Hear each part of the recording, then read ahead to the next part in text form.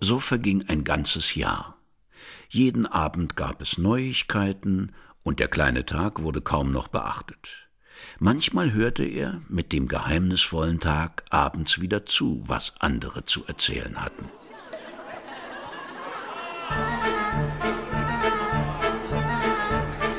Wieder war es Zeit für einen 23. April, der von der Erde zurückkam.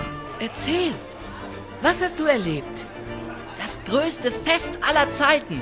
Überall auf der Erde wurde gefeiert.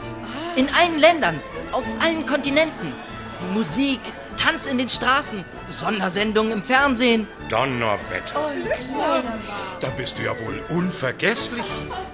Nein, es war nicht wegen mir. Der 23. April soll jetzt jedes Jahr ein Feiertag sein. Letztes Jahr am 23. April, da gab es nämlich einen Tag, an dem ist kein Verbrechen passiert. Nirgendwo auf der Erde wurde gekämpft. Und das ist den Menschen erst so richtig bewusst geworden, als der Tag vorbei war.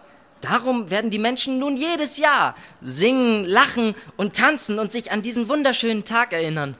Den friedlichsten Tag aller Zeiten. Der kleine Tag? Ja, ja, ich erinnere mich.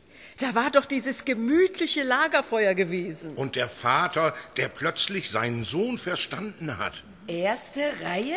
Ja, ja. Spitzenklasse.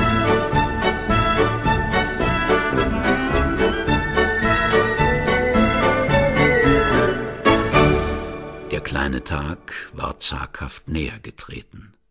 Beinahe ehrfürchtig machte man ihm Platz, bis er von allen bestaunt in ihrer Mitte stand.